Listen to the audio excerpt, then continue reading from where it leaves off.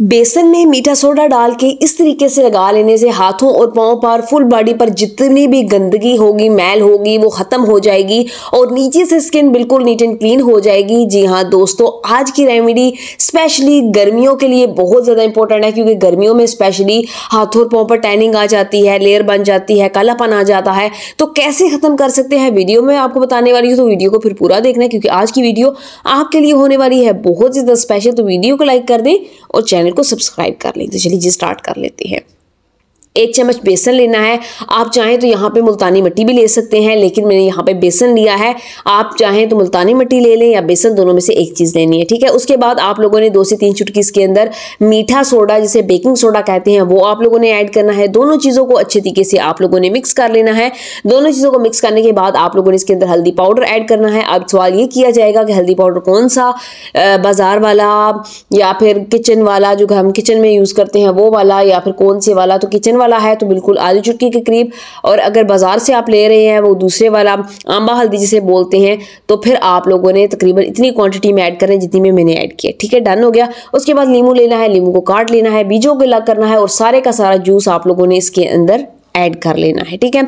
हाँ जी, अब बात कर लेते हैं सारे इंग्रेडिएंट्स की, कि ये किस किस लिए काम आते हैं। लीमू टैनिक को रिमूव करेगा बेसन रंग को निखारने के लिए बहुत बेहतरीन माना जाता है। हल्दी जो हाथों और पाँव पर, जो बॉडी पर जो डार्कनेस हो जाती है डार्क मार्क्स बन जाते हैं, जिनसे दाग धब्बे बोलते हैं, वो उसको ख़त्म करती है और आपकी स्किन को नीट बनाती है। अगर आप हफ़्ते में इस पैक को इसी तरीके से अप्लाई करते हैं, जैसे मैं आपको बता रही हूँ तो इनशाला आप खुद देखोगे कि आपको कभी भी कोई और चीज़ यूज़ करने की ज़रूरत नहीं पड़ेगी, क्योंकि इसके रिज़ल्ट बहुत ही एंड किस्म के हैं। ठीक है जी? लीमू का रस ऐड करने के बाद अच्छे तरीके से आप लोगों ने इसको मिक्स कर लेना है। मिक्सिंग आप लोगों ने अच्छे तरीके से करनी है।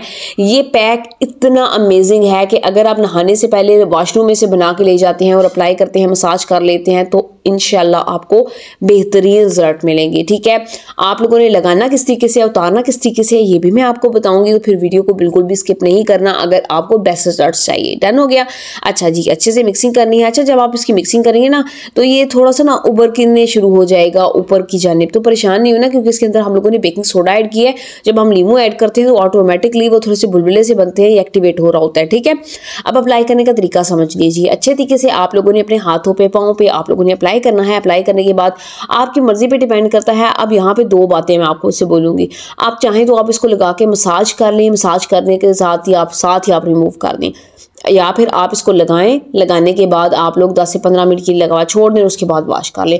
अभी गर्मियाँ हैं तो अगर आप वॉशरूम में बना के लेके जाते हैं तो आप मसाज करें। मसाज करने के बाद जो है आप लोगों ने वॉश कर लेना है, क्योंकि गर्मी में पसीना आता है तो फिर वो पानी साफ़ बनता रहेगा, ठीक है? अगर आप मुझसे ये पूछे कि हम इसको चेहरे पर यूज़ कर सकते हैं तो नहीं, बिल्कुल भी नहीं। ये रेमेडी चेहरे के यूज़ करने के लिए नहीं है। आप इसे हाथों पर पाँव पे बाजुओं पर गले पे, गर्दन पर कर सकते हैं, लेकिन आपने इसको चेहरे पर यूज़ नहीं करना है, ठीक है? डन हो गया। अच्छा अगर आप लोगों ने मसाज करना है ना तो लगा के नहीं रखना जस्ट मसाज करना है तो फिर आप लोगों ने अच्छे तरीके से मसाज करना है, ठीक है? आप लोगों ने कम अज़ कम दो से तीन मिनट अच्छे तरीके से मसाज करना है, ताकि जितनी भी टैनिंग है, जितना भी कालापन है, वो रिमूव हो जाए। अगर आप इसे हफ़्ते में एक बार यूज़ करते रहेंगे ना तो फ़ायदा ये होगा कि जो हफ़्ते भर की टैनिंग होगी, वो रिमूव हो जाएगी तो आपको कोई और चीज़ लगाने की ज़रूरत ही नहीं पड़ेगी, और ना ही आपके हाथों और पाँव पर कालापन होगा, ठीक है?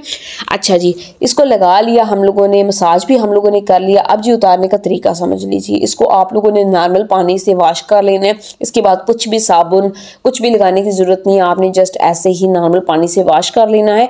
पहली बार में ही आपको अच्छे रिज़ल्ट मिलेंगे, लेकिन अगर आपको बेहतरीन रिज़ल्ट चाहिए तो आप दो से तीन बार अप्लाई करोगे, तभी आपको बेस्ट रिज़ल्ट मिलेंगे। डन हो गया। तो दोस्तों, ये थी मेरी आज की रेमेडी उम्मीद आपको अच्छी लगी होगी। अगर आपको वीडियो अच्छी लगी तो फिर आपने छोटा सा काम करना है। वीडियो को लाइक कर देना है।